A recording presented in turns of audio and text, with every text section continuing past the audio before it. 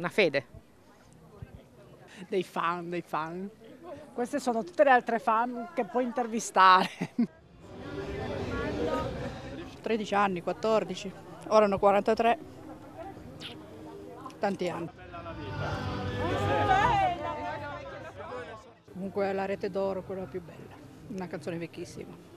Sono la giovane del gruppo. Sono cresciuta a Pane, Renato Zero e anche il Toro.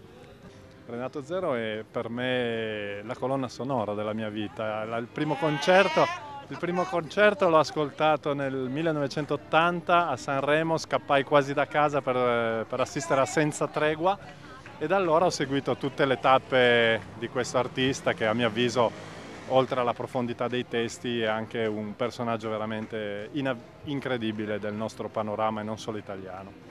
Un mito, un grande, unico, inimitabile, bravo, lo vedi, ti lascia tutto.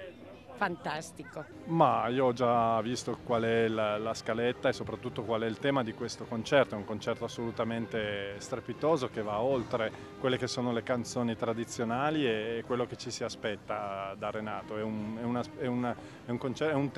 praticamente uno spettacolo teatrale, quindi sarà una cosa nuova nonostante Renato potesse anche solo accontentarsi di ripetere le sue vecchie canzoni, invece qui fa una, uno spettacolo completamente nuovo per continuare a, a, a, far assistere ai suoi fans eh, cose veramente emozionanti e memorabili.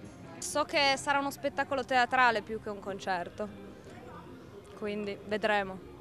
Questa frase perché è la frase di, del carrozzone e, e l'avevo dedicata al, al mio suocero quando è mancato due anni fa perché la canzone Il carrozzone è dedicata al, al papà di Renato quando, Renato quando, il papà di Renato mancò e, e, ci fu questo carrozzone che quindi leggendo tra le righe questa canzone si può capire il significato profondo della stessa.